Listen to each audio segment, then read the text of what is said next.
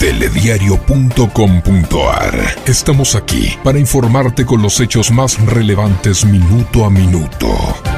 Todo lo que pasa, pasa en telediario.com.ar. Somos los primeros en dar la noticia. Telediario.com.ar. Te llevamos al lugar de los hechos. La noticia en tiempo real. Telediario.com.ar. La realidad.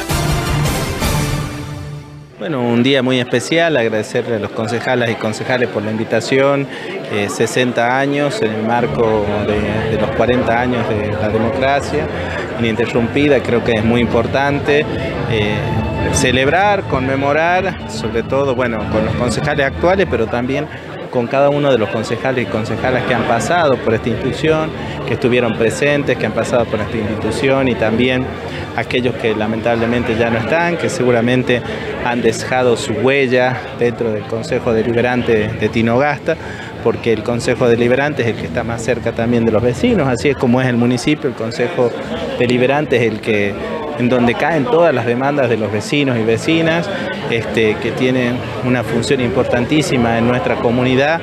Así que un día muy importante, con, distintos reconocimientos también a locales gastronómicos, bueno, al personal del consejo. Este, la verdad que una jornada muy, muy linda que estamos viviendo hoy acá. Eh, ámbitos estos de los cuales, bueno, eh, ha sido electo, hablamos del ámbito legislativo, eh, han pasado estas elecciones, aún restan las nacionales por definir.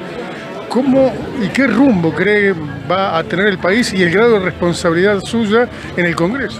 Bueno, Manuel, primero agradecerle al pueblo de Tinogasta eh, agradecerle por el acompañamiento en estas elecciones generales, a todo nuestro espacio político, agradecer a cada militante, a cada vecino y vecina que tiene la confianza en este proyecto político, agradecerles de corazón por el triunfo de este fin de semana en estas elecciones, también agradecerle al pueblo de Catamarca que nos ha dado un gran respaldo.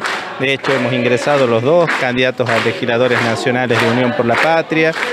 Así que bueno, eh, una gran responsabilidad, un gran desafío para lo que se viene, para trabajar por nuestro interior, para nuestro interior. Creo que es muy importante este, eh, este desafío, pero también defender los intereses de la provincia, pero fundamentalmente eh, nuestra comunidad de Tinogasta. Creo que tenemos muchas cosas por hacer, por seguir trabajando.